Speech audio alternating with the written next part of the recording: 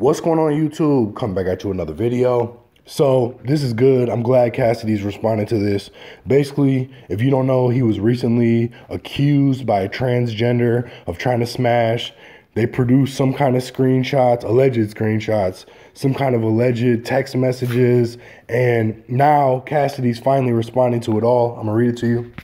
He says, I'm about to battle again and about to drop one of the greatest albums ever, so someone is trying to set me up. The truth hurts, but them lies can't affect me. When the truth comes to the light, anyone questioning my credibility will feel stupid like they always do. Stay tuned. He said, I'm straight like six o'clock. They trying to manipulate the masses with made up information. Don't believe the dumb shit. I'm definitely not the type of bull. I'm the GOAT. Bars is back and they're trying to tarnish my image. But you can't deny the truth. I always been a stand up dude. Hashtag honorable, never been sweet. You can't be serious.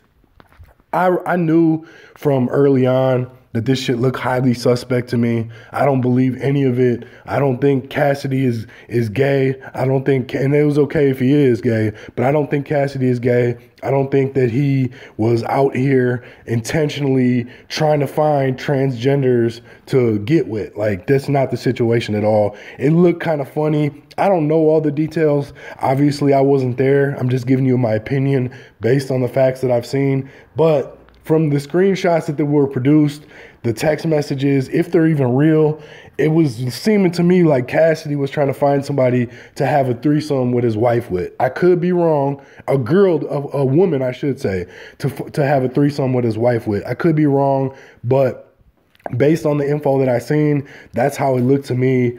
Uh, uh it is kind of funny though how right when Cassidy's about to battle and shit, this shit came out. So I don't know. You guys have to let me know what you think in the comments. Do you think Cassidy was actually out here like that, or is just um, is this just some fuck shit? I tend to believe it is just some fuck shit. But let me know what you think. I appreciate you watching. Make sure you hit the subscribe, hit those likes for me, hit the post notifications, all that shit. I appreciate you. Peace.